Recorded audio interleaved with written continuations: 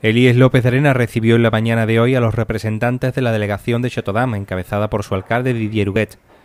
Una de las últimas visitas programadas por la delegación a colectivos e instituciones de nuestra ciudad. En el transcurso de la visita al centro de secundaria Martinero, la delegación francesa estuvo acompañada por los ediles andalucistas Paqui Malagón y Juan María Rodríguez Aguilera.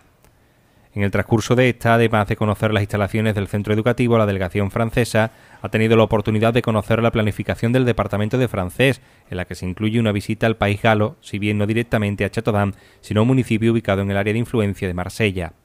La dirección del López Arena ha atendido a la representación francesa y ha mostrado su disposición a facilitar el intercambio de estudiantes entre centros de ambas localidades. Si en el futuro se llega a un acuerdo para que ese hermanamiento que ya existe ¿no? entre Marchena y la ciudad de Chatodán eh, siga adelante y nosotros podemos contribuir de alguna forma, pues desde luego estamos abiertos a cualquier tipo de colaboración y será una experiencia muy interesante para nuestros alumnos.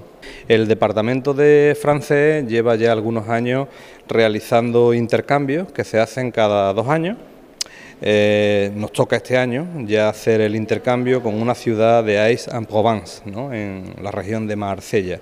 Y este año pues sí nos toca y lo hacen fundamentalmente alumnos de cuarto y de primero de bachillerato.